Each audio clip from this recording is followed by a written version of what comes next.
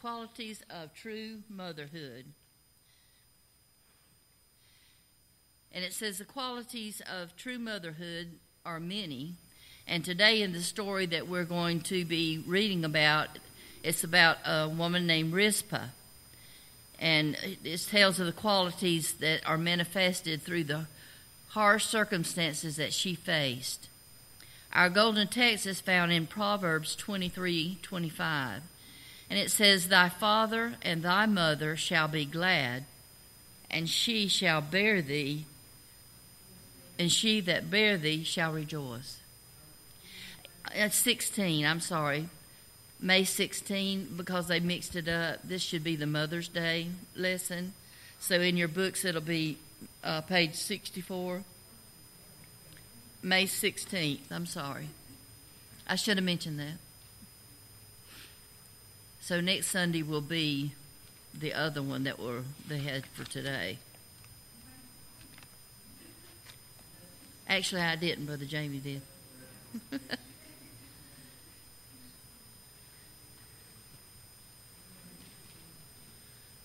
okay. Oh, no, that's okay. I'm, I'm glad you mentioned it. I forgot to say it. But again, the golden text says, Thy father and thy mother shall be glad, and she that bare thee shall rejoice. Our scripture reading is in 2 Samuel 21 8 through 14, and this tells us a story of this lady. It says, But the king took the two sons of Rizpah, the daughter of Aiah, whom she bare unto Saul.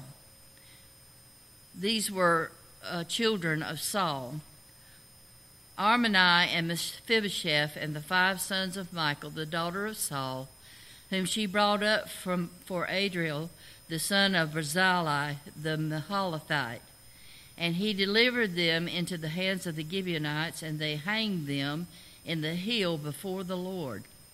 And they fell all seven together, and were put to death in the days of harvest, in the first days, in the beginning of barley harvest. And Rizpah, the daughter of Aias, took sackcloth and spread it for her upon the rock, from the beginning of harvest until water dropped upon them out of heaven, and suffered neither the birds or the, of the air to rest on them by day, nor the beast of the field by night. And it was told David what Rizpah, the daughter of Aiah, the concubine of Saul, had done. And David went and took the bones of Saul and the bones of Jonathan his son from the men of Jabesh Gilead, which had stolen them from the street of Bethshan, where the Philistines had hanged them, when the Philistines had slain Saul in Gilboa. And he brought up from thence the bones of Saul and the bones of Jonathan his son, and they gathered the bones of them that were hanged, and the bones of Saul and Jonathan his son buried they in the country of Benjamin in Zelah, in the sepulchre of Kish his father. And they performed all that the king commanded, and after that God was entreated for the land. The most important occupation on earth for a woman is to be a mother, a real mother to her children. You don't get a whole lot of glory in it there's not a lot of recognition necessarily in it, but it takes a lot of grit and grind. But there's no greater place to do ministry, position, power than that of a mother.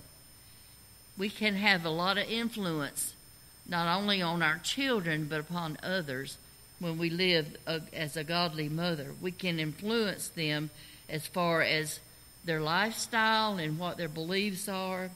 Uh, you know, a young child is very easily influenced by others. They're just innocent. So we have a great responsibility to our children um, to live before them a life that's holy and to give, be an example of someone with good morals, principles. You know, today, I'm not so sure that that's being done, you know, in a lot of homes, unfortunately. And as a result of that, you can see how some children are today. They they're get away with everything. They're not disciplined. They're not, you know, given any kind of example to follow. What go, whatever goes goes, and you can see that in our youth. Not not all of them, but in some of them, you can really tell whether they've had a home life that's been a good example. In the tragic yet telling story of Rizpah and the death of her sons, you can see the true qualities of motherhood exemplified in and through the grit and grime. At the death of her sons, though it was not of any sin that she had done, they all, uh, all that survived in Rizpah's heart was maternal love, and that would remain long afterward. That they were, con, you know, after their were, their consciousness was gone, her love still remained. And today we have an example of motherly love that we may properly appreciate that love and, influ- the, and the influence that a mother can have toward her children. And you know, they do watch everything and they mimic and mock, you know, fathers, mothers. They watch and they hear. And when you think they're not listening or they're not hearing, they hear. Because sometimes you say, Well, where did you hear? Well, you said. I heard Dad say. So they're listening, they're watching. We want to preserve that legacy. This may challenge all mothers to strive to achieve the level of dedication, and it will challenge the rest of us to express appreciation for it. Our lesson is, is really a sad situation and kind of an unusual situation. And it may cause us to wonder about the lasting commitment that a mother has for her children. And we're just going to highlight these characteristics that Rizpah had, and which are true of all good mothers, and which we can see manifested in difficult times that she had. What is a mother? Is it merely a female who's taken uh, advantage of God given capabilities to bear a child? Can the words be defined in, in simple biological terms? Can we determine the meaning by simply looking at the outward manifestation of a woman's ability to bring forth another human body from her own? No, there's a much deeper significance involved in the word mother than we can really realize. Look at the meaning of the word mother. Indo-European word for mother, it was um, mater. And I've heard that pronounced mater too. And I couldn't help but think mater. You know, in, in South Georgia, we, a mater was go get the mater out of the garden and cut it, you know. But the, so I guess it correct pronunciation should be mater. But um, it was based on a syllable ma, which uh, is also English for mama, and they later transformed that to mater, mater. And in German, I know my husband was German, and his uh, mother, they call her Mutter, Mutter. And the Dutch and the Swedish, they say motor, so it's. But I know one word that my dad insisted that we call my mother, and that was mother. We couldn't call her mom, ma, mama, but we had to call her mother. That was important to him. He felt like that was uh, respect, showing her respect and honor, and that's why he called his mother mother. He was required to do that. And I, you know, I, kids nowadays, my my kids, when when they want me to go see something they're doing or want to tell me something, the two of them together at the house, my son and my daughter, they start this, Ma, Mama, Mama, Mama, until I go in there. but my dad always insisted on us saying mother. The word mother carries with it an idea of that which gives birth to something. And examples would be like a mother cell that separates, you know, and, and reproduces by division. Mother country, which is a person's original country. a mother's mark, which they consider to be a birthmark. A mother tongue is like a native language, and mother of pearl is a substance that they used, uh, you know, to make buttons and other things too. Webster defines a mother as a woman who has borne a child. But there are many aspects to motherhood besides that, the biological. There's emotional, spiritual, psychological as well. And a doctor knows that his patient's psychological problems may affect his physical condition as well. And so we cannot exclude one human characteristic from another. They are all interconnected. And you know, that explains a lot of uh, what you see now in children in out in the world is how they've been affected psychologically through the years affects not only physical but how they respond and react to things too. It's it's has a great deal to do with that. And you know how how your mental can affect your physical. It can drag you down.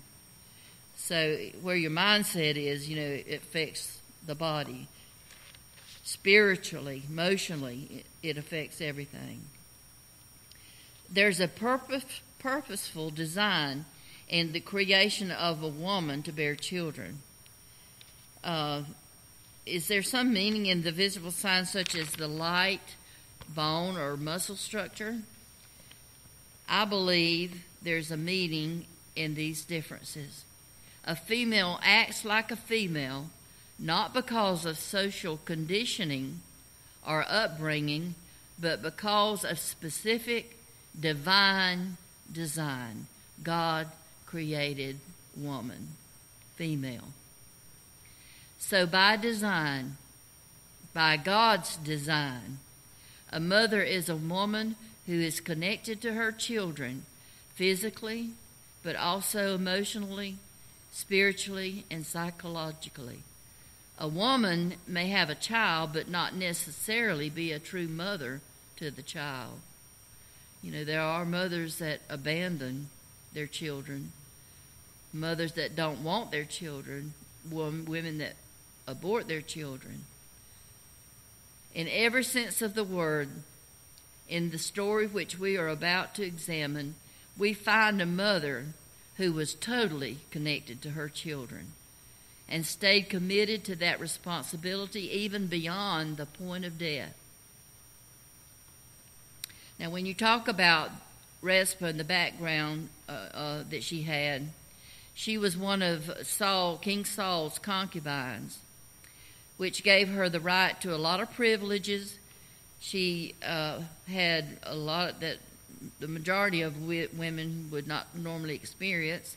She had the best of everything. She had all the comforts. She had her needs met with great detail. detail. She became a mother and raised two sons under the uh, protection of that very king, King Saul. Many years pass, and of course, Saul dies, so she loses her, her uh, husband. And then David becomes king of Israel. It happened that a grievous famine was lasted, which lasted for three years, fell upon the land during the early half of David's reign. And this was sent because it says for Saul and for his bloody house, because he slew the Gibeonite, Gibeonites. See, he made uh, an agreement that um, it said David inquired of the Gibeonites what they demanded, but I was going to, there's a section here.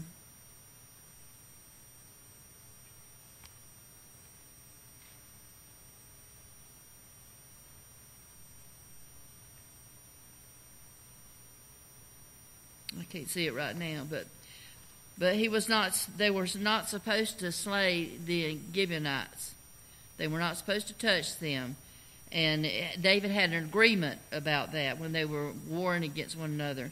And um, they were killed. So, because of that, then all this fell upon Saul's sons, and also this famine, which was uh, lasted for three years.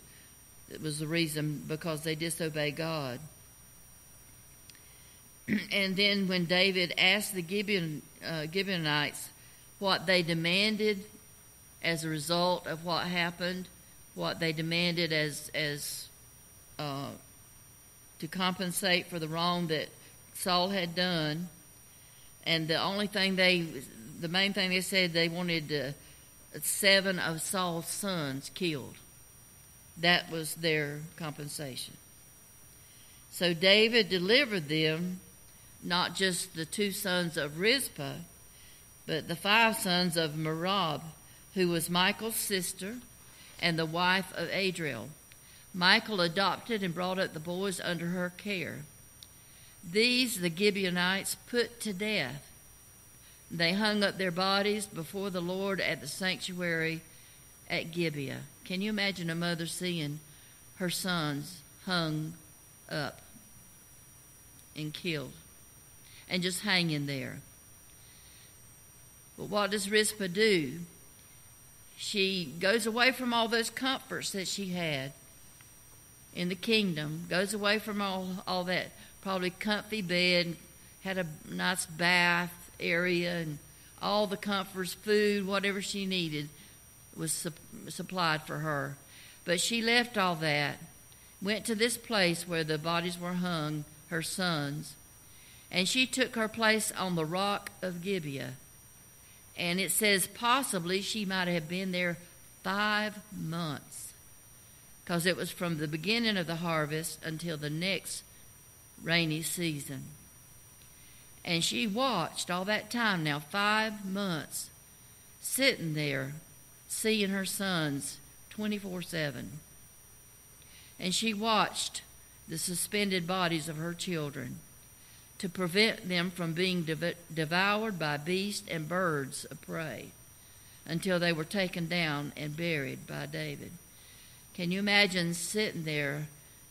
I'm sure it, it was a, a, pleasant smell. How awful it must have been.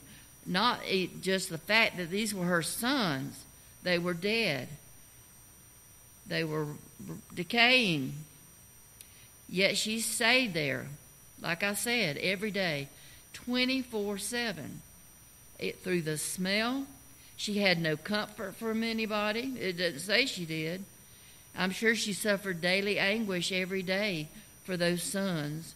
No support from anyone, just her sitting there watching over her sons. And there's no telling what she uh, might have faced, you know, even risking her life against birds of prey and other animals that would want to come and take the bodies and and you know destroy the flesh off of them. She, she wasn't gonna have that. Now that's the mother's love to the very end. The very foundation of civilization is the family, and the heart of every family is a loving mother. A mother's love is sacrificial and enduring. We can see this even from the very beginning of the prospect of motherhood. Every woman who places great value on human life is willing to enter into pain and suffering just to bring that life into the world. And I put willing to question mark. you don't know what you're getting into sometimes. but it's worth it all when you see that, that child, that young baby. It's just uh, amazing. And when it's talking about a mother's love being sacrificial, I can't help but think I'm sure there's many times I've I, I don't mean to toot my own horn, but but I'm sure there's all mothers are like that. My mother, I know, was like that. But you know, when you prepare food and you have a certain amount, and and usually uh, the father gets fed, the children get fed, and the mother waits, and even if the child, I want that last, you know, go ahead, you eat it. I don't want it anyway, you know. so you you know give for your children, for your family, not just your children, but your husband, your family. They give, you know, sacrificially. Sometimes doing without when it's not even noticed, you know, that they're doing without. Rizpah, who was a concubine of Saul, she was no different. Despite the circumstances under which these sons were born, she loved her sons. She bonded with them at an early age and was able to watch them grow from young boys into strong men. We are not supplied with the details of her early life, but all indications point to the suggestion that Rizpah and her sons had a good relationship and that she was a devoted mother. Rizpah's love, motherly love can clearly be, be seen in the sacrifices that she made in order to preserve the dignity of her sons at their death. We find that Rizpah placed herself in a very vulnerable position in order to accomplish the task of demanding closure to the whole terrible ordeal that had taken place. As I said before, she left the comforts of home that she had. She camped beside the bodies of the seven sons of Saul. See, it wasn't just her two, she was there for all seven. She suffered the hardship of living in her homemade tent upon a rock. She could not bear the thought of her sons hanging there for the vultures to tear to pieces and devour. So she determined to keep watch over them and drive them away she watched with great vigilance and devotion. Can you imagine? I, I would assume that she probably got almost no sleep. If you're watching over them like that to keep other things away from them, it has to be a constant watch. Because, you know, even when you're driving down the road and you see a vulture after something on the road, well, when you drive by, they may scatter off but seconds, they're back there again. You know, you shoo them off and they're back. You shoo them off and they're back. So I can't imagine that she had any rest during all that time. Lack of sleep. She may have had some sustenance, but you know it don't say whether she did. But I, I'm sure she probably had some. But as far as rest and sleep, there was none. That's that's devotion a mother's loyalty.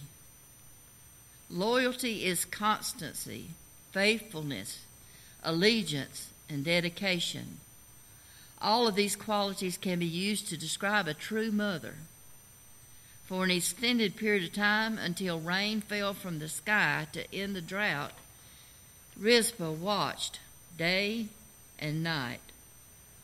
What a picture of loyalty. A mother's devotion endures through years of hardship and trial and test. When she's unappreciated or even degraded or neglected, the mother clings and hopes. You know, even when sometimes um, what you do to, don't seem to be noticed or, you know, really care. Sometimes, you know, uh, I, I've seen where, where children don't appreciate what the, their mothers do for them, and it's never enough. You know, they're always wanting more all the time. And sometimes they get neglected, sometimes they de- get degraded, even by their own families, by their own children. When she's abandoned by all, she does not abandon them. She still loves them. The penitentiaries report that when someone is sent there, friends begin to visit less. And then relatives begin to visit less. And then the father begins to visit less. But mothers stay and visit with everyone eh, when everyone else stops and has seemingly forgotten. What does this tell us?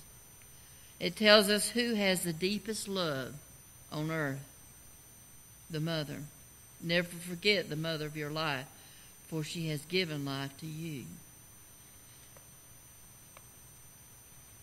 Rizpah was not responsible for the sin of Saul, which had brought about this whole ordeal. The famine that was upon the land was sent because of Saul and his bloody house, because he slew the Gibeonites. That's where I was trying to find a while ago. A covenant with the Gibeonites had been made many years earlier in Joshua 9 3 through 27. Saul had violated this covenant. In addition to this God sent punishment, the Gibeonites demanded the death of those seven sons of Saul. She bore some of the consequences of that sin in spite of her innocence and the seeming innocence of her sons, and in spite of the terrible circumstances brought by by wrongdoing of others, she stayed loyal to her sons. She didn't forsake them in the hour in which they needed her the most. This was the hour in which the children could not speak for themselves. They needed someone because they were helpless. Let us consider the fact that a mother's loyalty to her children should not depend on whether or not she agrees with the behavior or the choices that her children may make in life. You know, you stay loyal to them even though they may do bad things. You still love your children. You always love your children.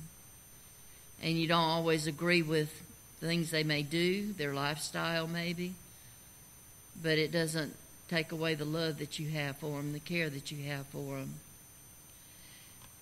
And I've, I see a lot sometime on TV where uh, some of these police shows or what First 48 or whatever, where um, these children have committed these terrible crimes but the mother's always, oh, my child would never do that. Not my child. I learned a long time ago not to ever say, my child will never do. You pray that they never do anything bad, and you try to raise them that way, but you never say they never will because you don't know what they might do.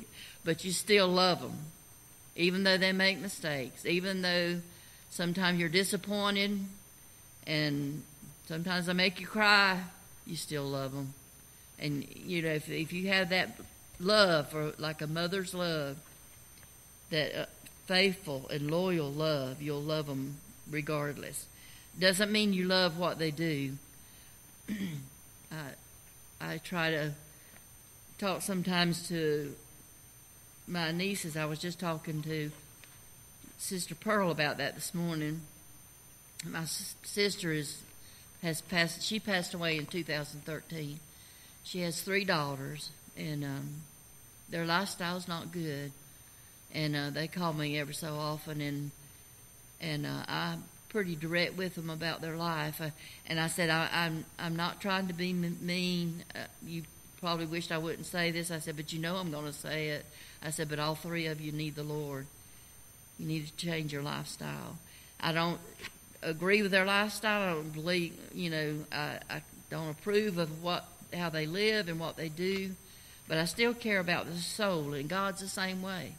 God cares about that soul, not the sin. He hates the sin. We should hate the sin. If we're a Christian, we should hate the sin, but not the soul, the person. We should love them and pray for them. That's what we're here to do, is to pray for them and love them, you know, regardless.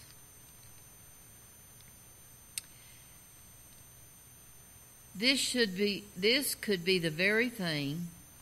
This this this is the answer right here. When you let someone know that you still love them, even when they know they're not doing right it says this could be the very thing that God will use to bring children back into their proper relationship with Christ and the family. A true mother is loyal to her children from conception until death and beyond. She is loyal when the children are not able to speak for themselves and when they are not able to defend themselves. She will care for them when they are not able to provide for themselves in any way. And, and that's true too. You know, some some children are, are kind of like yo-yos. You send them out and they come back. You send them out and they come back. but but as long as I have a home, if they need to be, it's their home. There's always a door open for them to come home. And you care for them no matter what. Rizpah's intense maternal love led her to seek the safety and honor of the dead. Others in this age would do well to seek the safety and honor of the living, born and unborn. Abortion and partial birth abortion are some of the greatest sins of America. Someone who has become a Christian after an abortion needs special help because you can imagine it's hard for them to deal with with that. I, I just I can't even comprehend. I'm sure it it stays heavy on their minds a lot. So, you know, if we ever come across anyone like that, we should show them all the love and support that we can give them and, and try to help them through it. The sin can be forgiven, but it's difficult for them to live with that memory. So we should do our best to help them and help them live for the Lord. A mother's courage. We we've talked about a mother's love, a mother's loyalty, and this is about mother's courage. What mother would go out into the wilds of the countryside and pitch a tent to face birds and beasts of prey? Rizpah did that. And what mother would leave all behind to voluntarily subject herself to possible danger of life and limb for the benefit of her children? She did that also.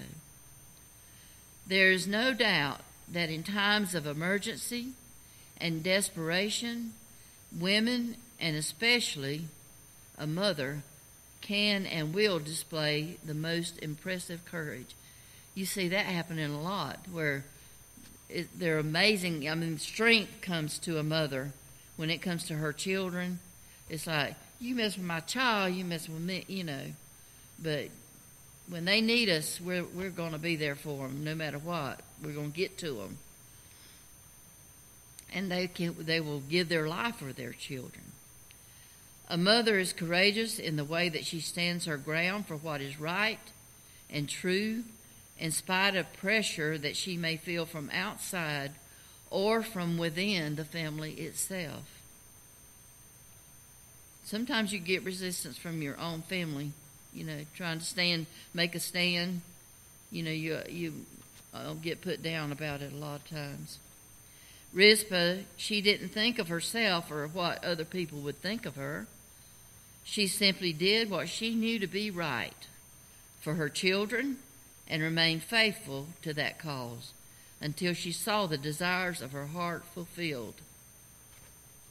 A mother whose child is threatened with danger will most naturally rise to the occasion and protect that which has been born of her. Though she is not equipped with the most effective physical equipment to combat the enemy, she, can, she is given a natural care and concern for the child, which will manifest itself in times of need. There's a story here. It says years ago, a young mother was making her way across the hills of South Wales, and she was carrying her tiny baby in her arms and she was overtaken by a blinding blizzard. She never reached her destination, and when the blizzard had subsided, her body was found beneath a mound of snow. They discovered that before her death, she had taken off all her outer clothing. Now, this was in a blizzard. And she wrapped the clothing about her baby. And when they unwrapped the child, To their great surprise and joy, they found he was alive and well. She had mounted her body over his and given her life for her child, proving the depths of her mother love.